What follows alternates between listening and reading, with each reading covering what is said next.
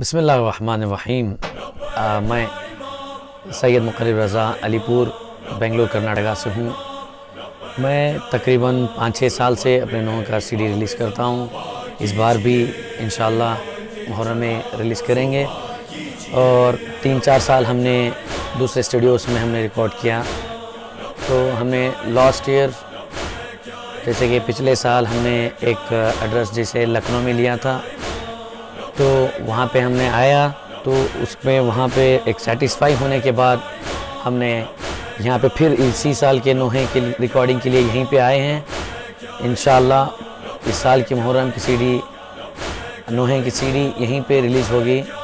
اسی کے بدولت، اس اسٹوڈیو کے بدولت ہم نے بہت ساری پبلشیں پبلش بھی ہوئے ہیں اور ہم شکر گزار ہیں اے ایم اسٹوڈیو والوں کا، جنہوں نے ہمارا پوری طرح سے ساتھ دیا، جس چیز میں ہمیں نالج نہ تھی، اس کے بھی آئیڈیاز کے ساتھ ہمیں ہر چیز سے نوازا ہے۔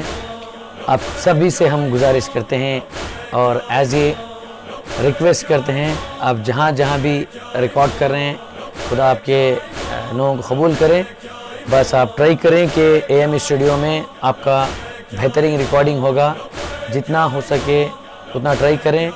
اور ہم بھی آپ کے ساتھ ہیں۔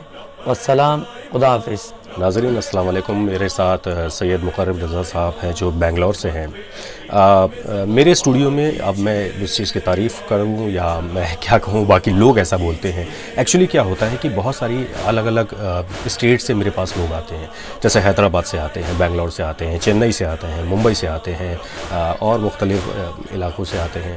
تو ہم لوگوں کی سب سے پہلی کوشش یہ ہوتی ہے کہ ہم لوگ پروننسیشن پہ یعنی کہ الفاظوں پہ ان کا تلفظ جو ہے اس پہ بہت دھیان رکھیں کہ جیسے ابھی مقرب صاحب نے آپ سے بولا تو وہ لکھنؤ لکھنؤ کر رہے تھے۔ ایکچولی ہم لوگ انہی چیزوں کو تھوڑا سا توجہ دیتے ہیں کہ چیزیں اچھی نکل کے آ جائیں۔ اور بھی بہت سارے مقرب صاحب کے اور بھی نوحے ہیں جو آنے والے ہیں۔ وہ الگ الگ شاعروں کے ہیں، الگ الگ عنوان سے ہیں۔ آپ سنیے گا اس میں دو تین نوحے تو بڑے پردرد ہیں، جس کو مجھے بھی سن کے کافی اچھا لگا۔ پچھلی بار یہ ہمارے پاس آئے تھے اور اس بار پھر ہمارے پاس آئے ہیں۔ تو ہم لوگ پوری کوشش یہ کرتے ہیں کہ ایک اچھے سے اچھا کام ان کو نکال کے دیا جائے۔ اور بس اوپر والا ہم لوگ کے کام کو قبول کرے اور جو ہم لوگوں کا ایک مشن ہے کہ آزاداری کو ہندوستان میں ایک ایک مقام پر لے کے جائیں، ایک مقام پر لے کے جائیں تاکہ ہم لوگ جو جو اوپر شہزادی نے ہم لوگوں کو ایک اگر ایک عطا کیا ہے کچھ، تو ہم لوگ اس کو بہتر کر سکیں۔ تو میرا سب لوگوں سے یہ درخواست ہے کہ کہیں پر بھی کر رہے ہوں، جہاں پر بھی کر رہے ہوں، جیسے بھی کر رہے ہوں، آپ لوگ مقرب صاحب کو دعاؤں سے نوازیں اور بہتر کرنے کی کوشش یہ کریں اور تلفظ پر دھیان رکھیں۔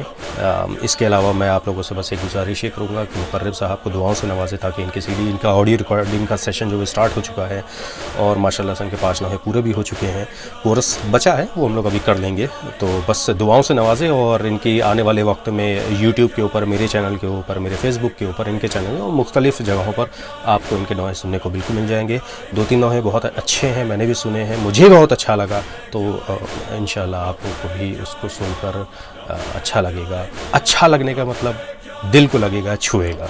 خدا حافظ۔